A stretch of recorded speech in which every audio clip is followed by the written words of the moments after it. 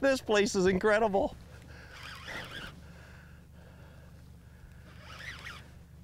Now I'm glad I just checked my leader. That tough leader's holding great. Buddy, you would have been in a net right there. Beautiful fish. You know what, Dennis? We can scoop this one in the net and we'll get it back quicker. Okay. The way these things are fighting, I'm fighting them out more than I want to before releasing them when I'm waiting to grab them by the gill plate. So we'll scoop them.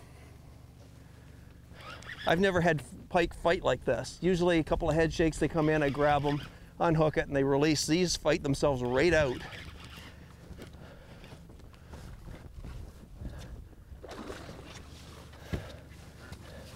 We'd be talking big fish. We'd be talking real big fish. Wow. Holy, okay, we'll keep him cradled in that net for a second. That one's got the thickness, doesn't he? That's that's a porker. that that is a real fat pike.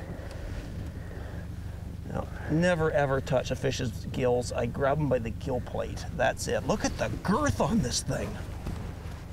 Great fish. Holy moly!